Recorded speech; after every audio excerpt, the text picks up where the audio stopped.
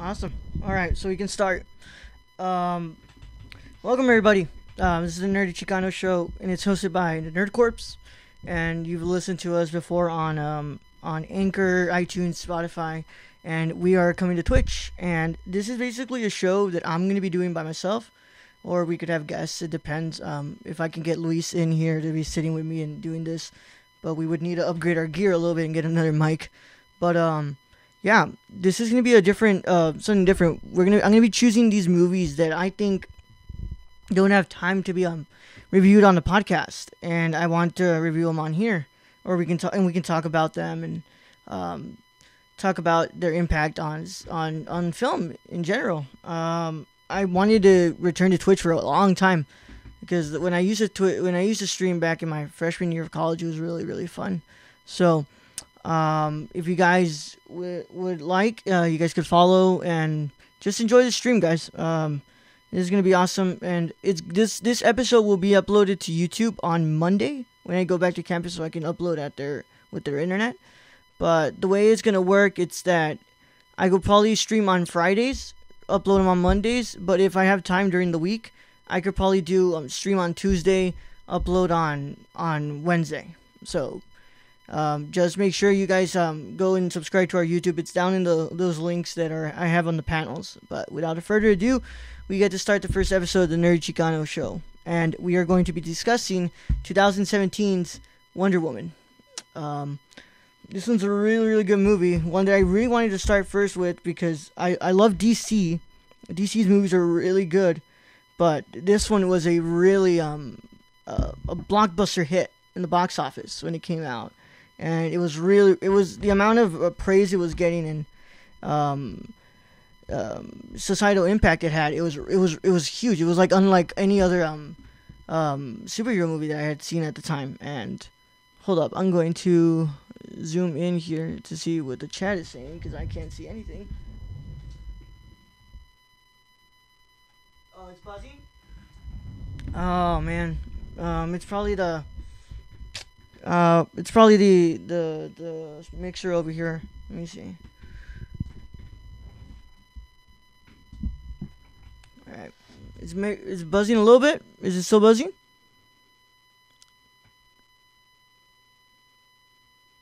Maybe I could put this down a little bit. Let me see. So that would change up anything. But um, yeah, uh, Wonder Woman's a really good movie. It stars Gal Gadot um, playing Wonder Woman. We saw her in Batman vs Superman, and a lot of people what came uh, what surprised them from Batman vs Superman was the portrayal of of Wonder Woman, and I and everybody when coming up to that movie didn't think that Wonder Woman was. I mean, Gal Gadot was going to be as good as Wonder Woman as she was, but um, if I remember correctly, there's that scene when they're fighting Doomsday. And she comes in, and uh, I remember first seeing that. That gave me chills. I said, "Oh, that's that's our Wonder Woman. That's she looks amazing, and she she's she's gonna become what Ryan Reynolds is when we think about Deadpool. Like Ryan Reynolds is Deadpool, and and Gal Gadot is Wonder Woman, and this is the origin story of Wonder Woman. And you go and learn about how she was created by Zeus, and she lives on this island called Themyscira. Themyscira is run by the Amazons, and basically it's an all-woman society, and the the it, this takes place during the fir- the First World War. Um, Steve Trevor, played by Chris Pine, Chris Pine, Chris Pine, Chris Pine lands on um, on Themyscira, um, but there's a different um, there's something going on in the war that he needs uh, sort of help. And after meeting Wonder Woman, he decides to. Wonder Woman just thinks that Ares is the one um, that's controlling all this idea of war and how it's a very it's a very um, um religious thing to her. And you know it's it's th- this war is created by ares because ares makes humans bad basically. So she signs up to go in go with steve trevor and try to stop this war. And we find these villains who well first of all the first two villains that we were introduced to we think they're the villains but as we go into into um as we progress into the plot, we think you know oh these these are this is Ares. Like this has to be Ares. Like Wonder Woman is tracking Ares down and it's got to be Ludendorff. Um, but no, it ends up being this completely different guy, which a lot of people did see that as the problem with that third act is that oh well the villain really didn't have this build up because you know we get to it and it's this completely different person that we didn't know who it was, but um yeah, that's like the that's pretty much the plot. And you know, one the Wonder Woman is basically going and experiencing the world outside of Themyscira that she's never really been accustomed to. And it's a very it's a very good movie. I I will not I will give that what it's granted. It's a very good movie. It's very beautiful. The colors pop a lot. The cinematography is beautiful. Those fight scenes in Themyscira with the German soldiers were beautiful, and that use of slow mo, it's it's it's unlike anything I had seen in the DC movies yet. Um, Patty is Patty Jenkins directs this, and she was originally going to be the person who was going to direct um Thor Ra- no not Thor Ragnarok um Thor the Dark World, but she was um she was uh she she was dropped out of it and ended up creating this movie and a lot of people praised her for finally being able to direct this movie and create well a gem that came out last year. A lot of people really think that Wonder Woman was the best best uh, superhero movie last year. Um, I kind of put it up there with Logan because um, Logan was really really good, but this one it, it it ties with Logan basically as being my favorite superhero movie of last year. Um, a lot of things Wonder Woman does correctly is basically fix the problems that you know movies like Suicide Squad and and um, Batman versus Superman didn't have um, didn't correct, and I I I I um I want to thank um you know the writers for for fixing that because um, Zack Snyder does write a little bit of it, and it seems that when Zack's not writing fully writing the project, he can actually do some good. But um, Pat, I think the most grace should be given to to Patty because it's without Patty, this movie would wouldn't be as directed as it should be.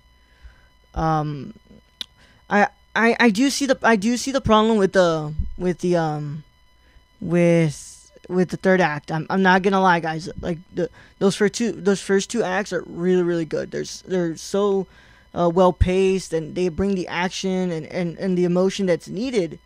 But that third act does fall short, and I I think that's really what um I mean, in general, uh, Oscar the the Academy doesn't like nominating superhero movies, but I think in general that that really that third act was what cut it short for the Oscars. Um, that the, the the final battle doesn't really. I don't I don't see the problem with that actually. Everybody says that it's like this CGI fest, and um, I I don't I don't see it at all. I think the CGI looks fine compared to what it looked like in Justice League, but even then, after watching Spawn, uh, pretty much all this bad CGI looks pretty damn good to me.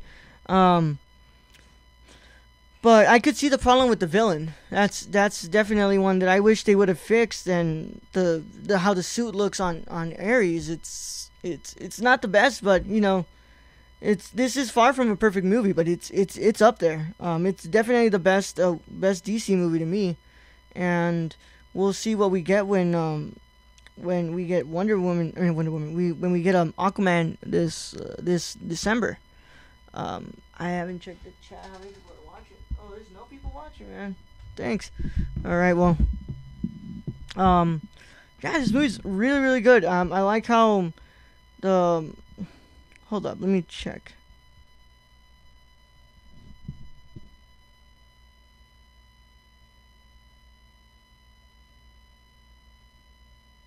I don't know. Andrew's not on yet anymore, but um, yeah, that's that's Wonder Woman for you guys. I really, it's not. I'm gonna, you know, uh, first part will be the review, and then we're gonna go into some discussion after.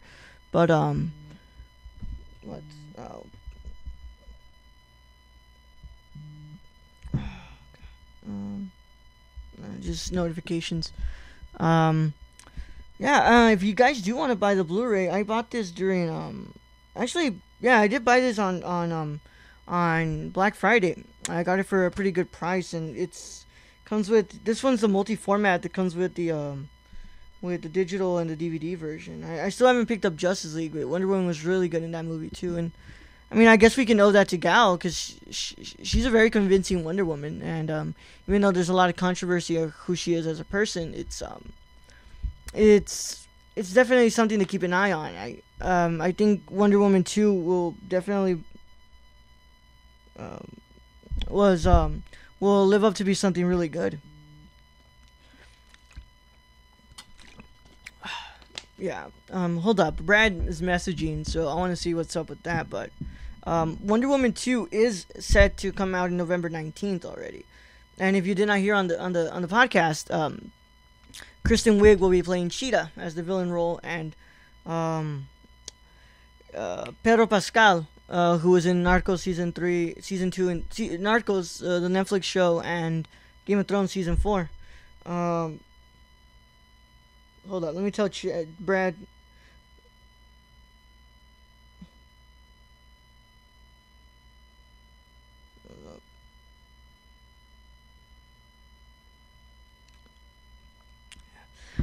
I, the first stream is gonna be kind of awkward, and we'll get it going. Um, but um, the hopefully the next ones are a lot better. But um, yeah, Wonder Woman two. We it looks like that's gonna be the whole. I mean, we don't know what Pedro Pascal is gonna be playing, but you know, it it, it looks like it's gonna be interesting.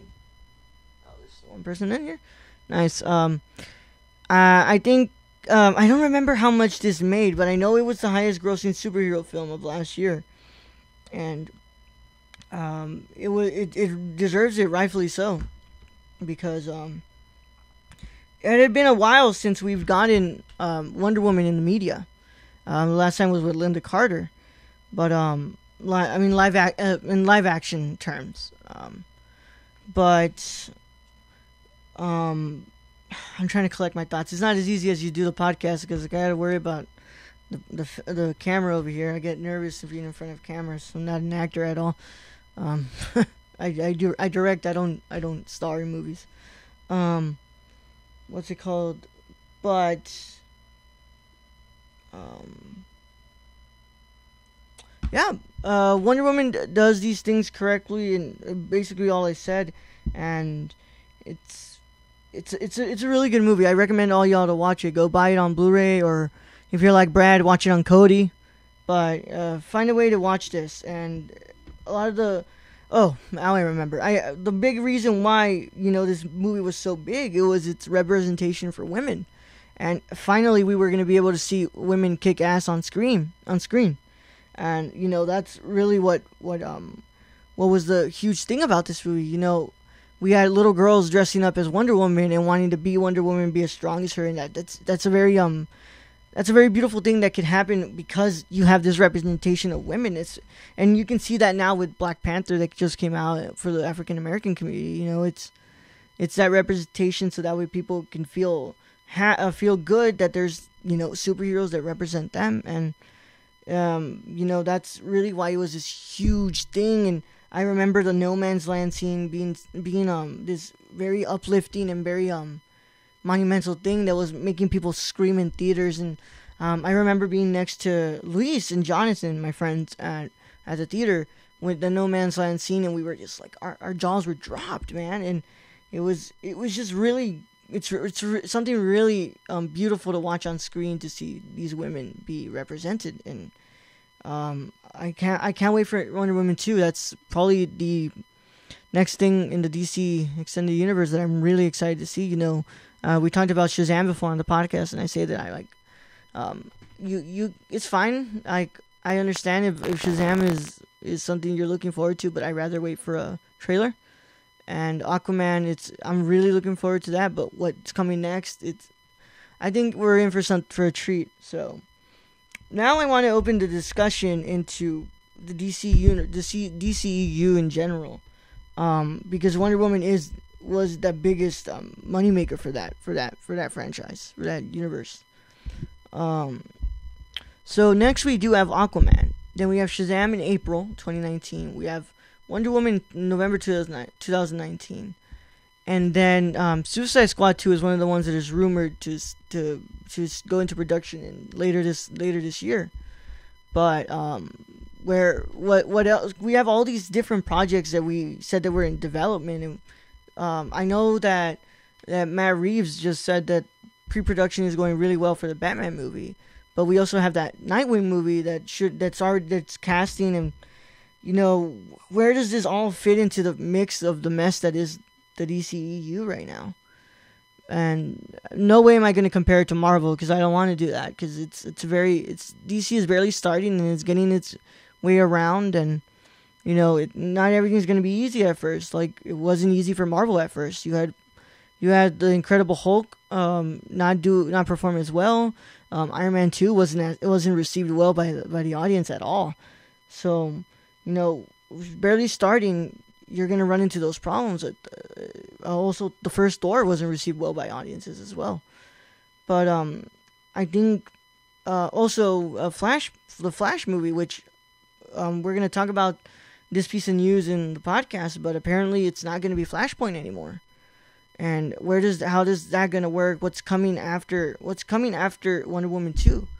Um, everybody's always talking about you know reboot the DCU, and I don't I don't think we should be rebooting the DCU. I think we should be greenlighting some of these um some of these projects that should already have been out, like um, Cyborg, Green Lantern Corps, um, Flash, uh, Bat, and the Batman. Those are four movies that we should be watching. We should have a date already for, and we should be able to. We should be looking forward to seeing those movies, but um, I know that Green Lantern Corps doesn't even have a, a director yet. Um, uh, Cyborg doesn't have a director yet either, um, or a writer. All we know is that that Ray Fisher is going to be playing um, Cyborg.